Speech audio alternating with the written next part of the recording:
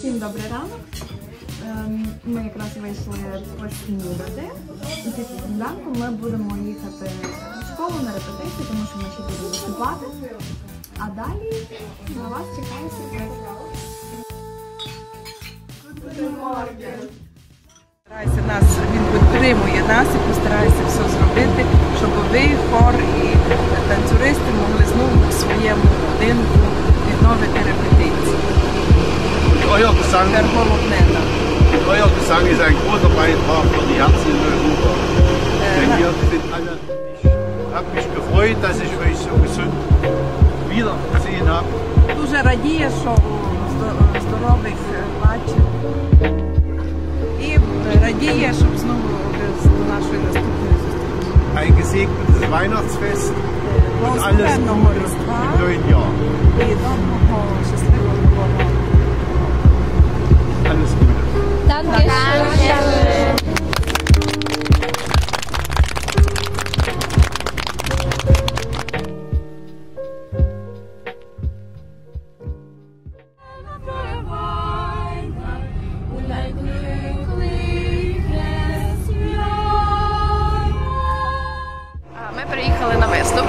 Е, в школу, в якій також виступали і вчора, з ще одним хором, який тут навчається. Ще дуже інтересно, що у них з 9 класу не ставлять оцінки.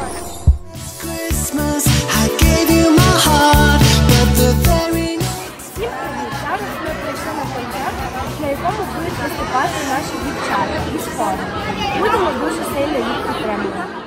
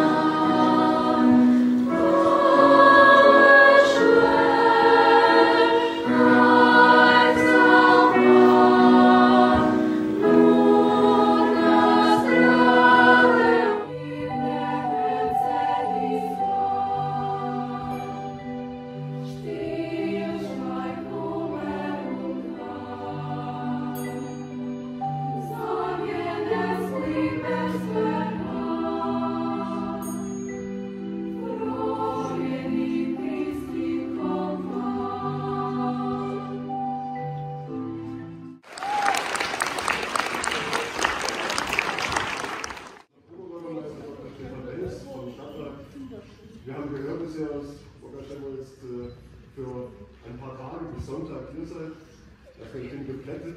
Das war ja sogar auf Deutsch. Also ich vergleiche es jetzt zu versuchen, auf Englisch was zu sagen, das ist von daher. Es ist toll, dass ihr da seid. Ich hoffe, es gefällt euch hier. Ihr fühlen mit euch mit, was in eurer Heimat momentan passiert. Wir sind zuversichtlich zuversichtlich und hoffen, dass es äh, möglichst schnell besser wird. Und ich möchte an der Stelle auch Lucifer sagen, der Waldorfschule Böbing einen ganz großen Dank auszusprechen für die Solidarität, die ganz am Anfang, als dieser unsägliche Krieg gegen die Ukraine losgegangen ist, auch äh, mit sehr direkter Hilfe durch die Familien, die Schülerinnen und Schüler aufgenommen haben, auch Eltern. Das ist eine ganz tolle Aktion gewesen, viel schneller als wir als, als Kommune, als äh, staatliche Einheit sozusagen reagieren können. Von daher, wir möchten euch unterstützen, wie wir können, vor allem geistig natürlich jetzt in der Vorweihnachtszeit, auch mit entsprechenden Gebeten und hoffen, dass es euch hier gefällt. Schön, dass ihr da seid. Herzlichen Dank. Thank